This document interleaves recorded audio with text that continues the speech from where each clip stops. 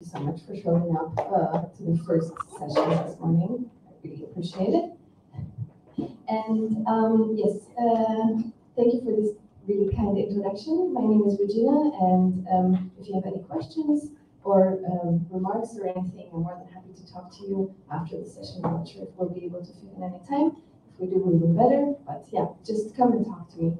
Um, right. Uh, so I got um, my PhD I think six months ago or so, uh, in um, grassroots uh, design, grassroots innovation, and I'm going to be talking about something completely different today.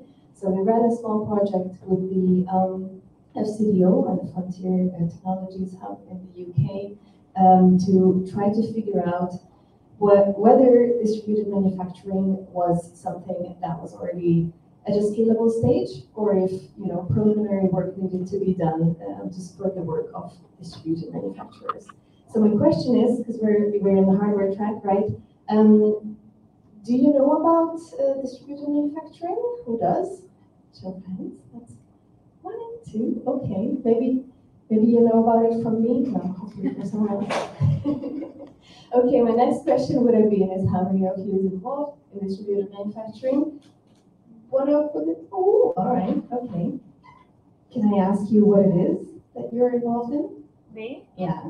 There's a, a group of people that are out of the Gathering for Open Science Hardware that is starting a program called the Open Science Shop. Mhm. Um, so they're trying to form a collective that will eventually do distributed manufacturing of science hardware, but they're in their very early, early stages of this. Amazing. Okay, so for our listeners online, uh, there's going to be a project. Well, now it's in the early stages still, but it's going to be within the frameworks of the Gathering for Open Science Hardware.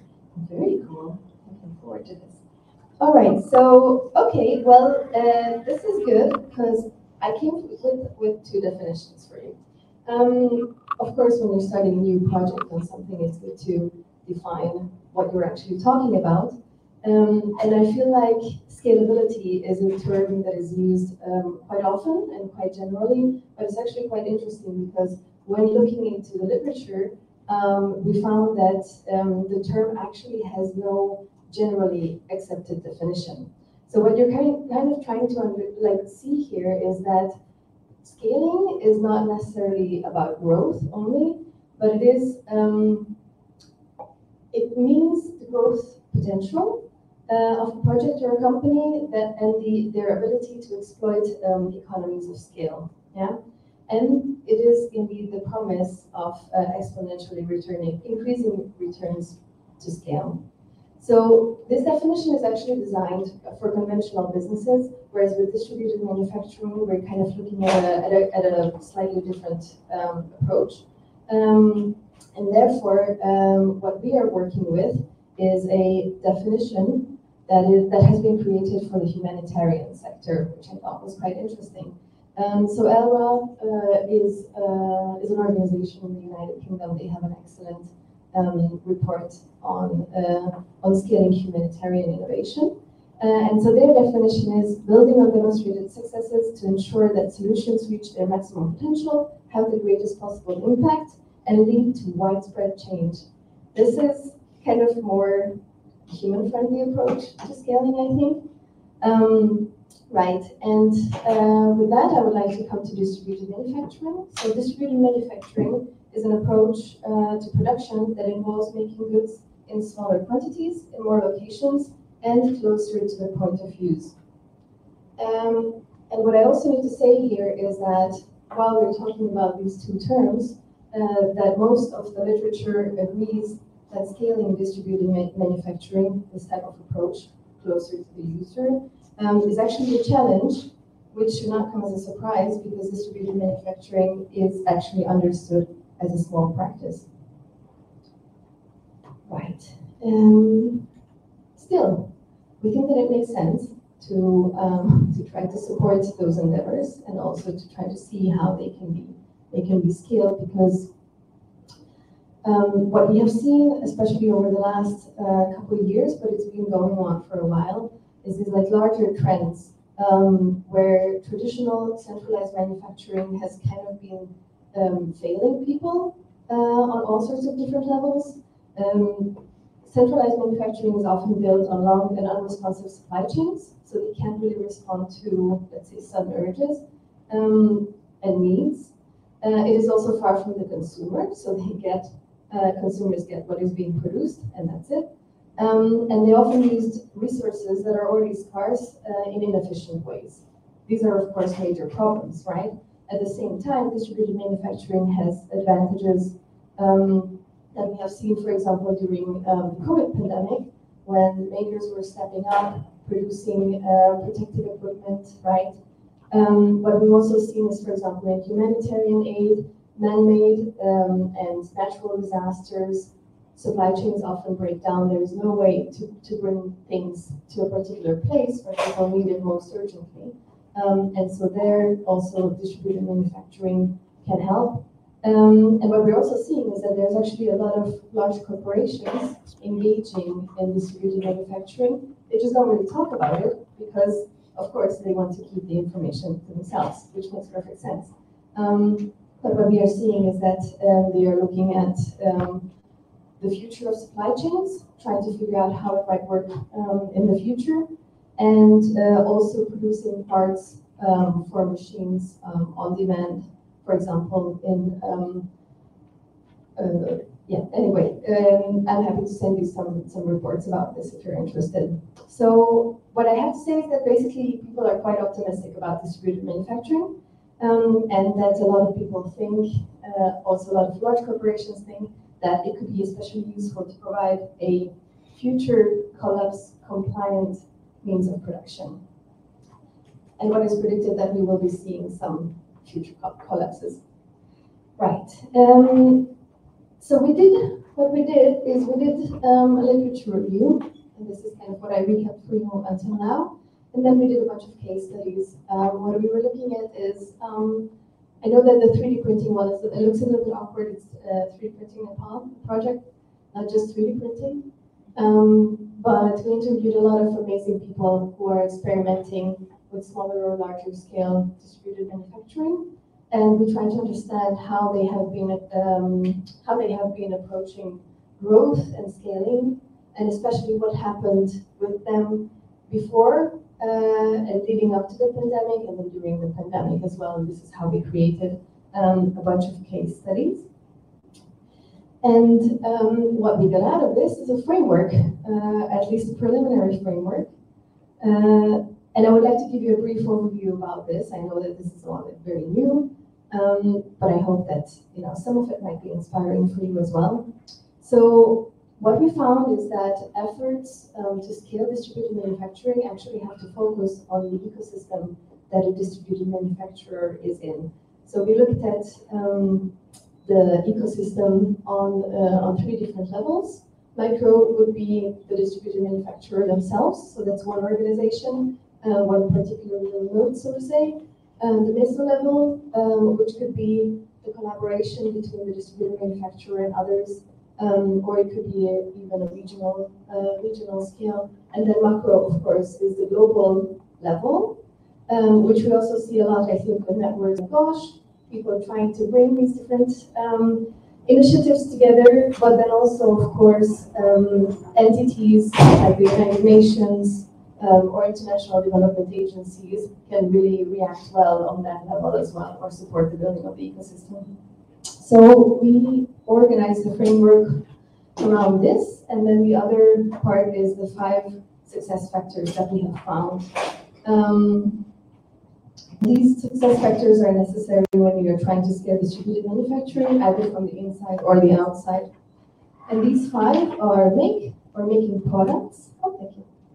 Um, make or making products, uh, while also, for example, having access to different inputs and different skills sell or selling products in the market, um, for which one, of course, needs market knowledge uh, and, the mar- and the readiness of the market as well.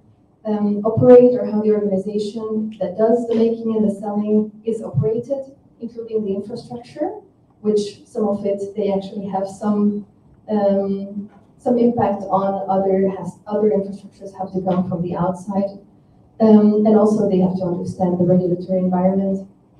Um, collaborate uh, which I think is something that you can all relate to. how do they actually work together with others in their own ecosystem and how that can be supported.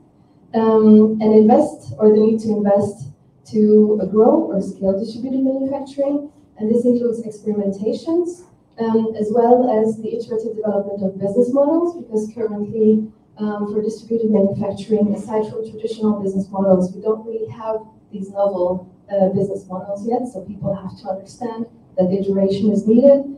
Um, and of course, access to funding, right?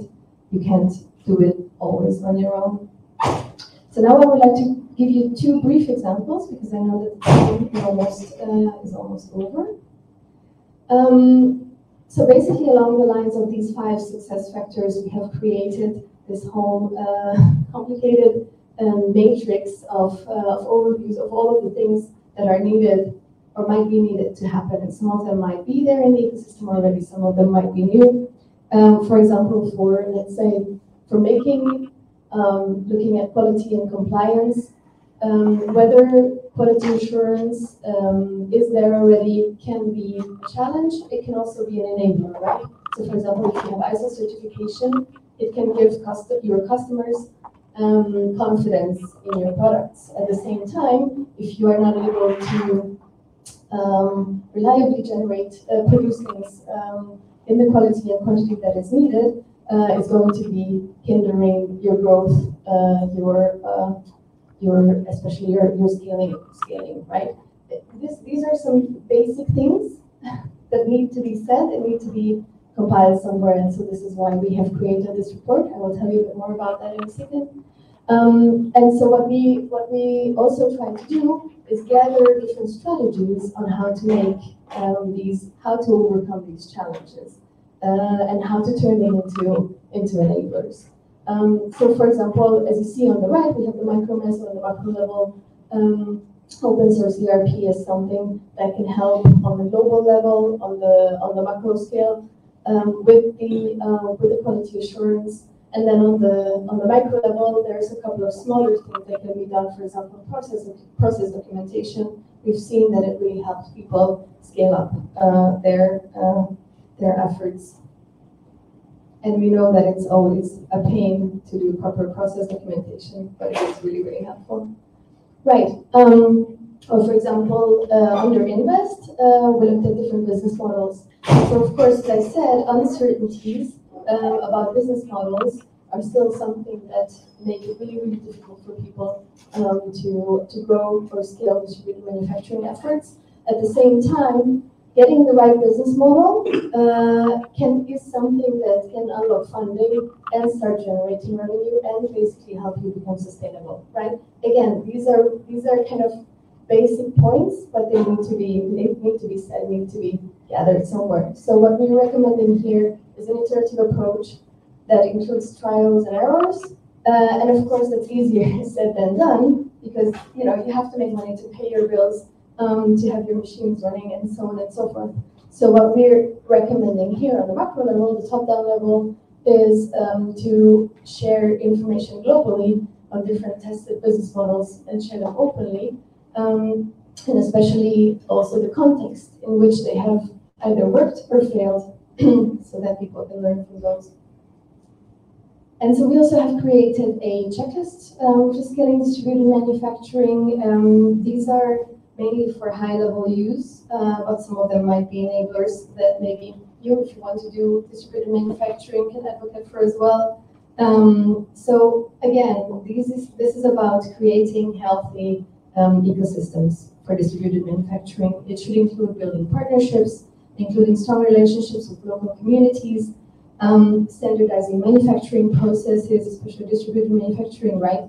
Um, automating uh, manufacturing and administrative processes, automating things away that you don't need to think about in the in your daily lives is something that is going to help you scale, obviously.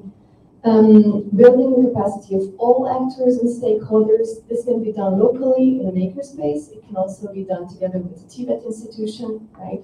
Um, and where was I? right, investing in skills development. Um, this is similar, but also knowledge transfer. So sharing knowledge with each other, and of course, infrastructure. Um, creating supportive policy and regulatory environment. Again, this is something that can also be lobbied for, advocated for bottom up. Um, prioritizing social and environmental sustainability in all of the aspects of the operations. This is especially important because if what we're going to see is a bunch of distributed manufacturers popping up in different places who then don't actually pay attention to how you know the waste is managed and so on and so forth. We've seen some examples um, then that could lead to further environmental destruction um, as opposed to the promises of being more envi environmentally friendly. And of course, finally, the marketing the benefits of distributed manufacturing so that people start talking about it. I know that this was a lot of information. Um, the report is actually going to be downloadable very, very soon, today or tomorrow. So I hope that you are going to go and uh, download it, check it out. Um, we still have a lot of work to do with it. Um, but we are also planning on launching an ongoing knowledge sharing group, and I would like to invite all of you uh, to come and join it. You can either talk to me, give me your email address, I promise to keep it safe, uh, or uh, yeah, or reach out um, to the to the team. And I would also like to, of course, thank the Frontier Technologies Hub UK, the FCDO, and my team at Manufacturing Change. And thank you so much for your attention.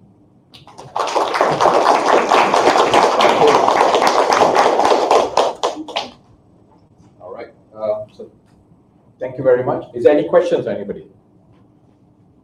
I, I need to run over to get you the mic. So, you- so you mentioned sustainability as one of the advantages, but like if I wanted the world to contain one million more widgets, I don't care how they arrive.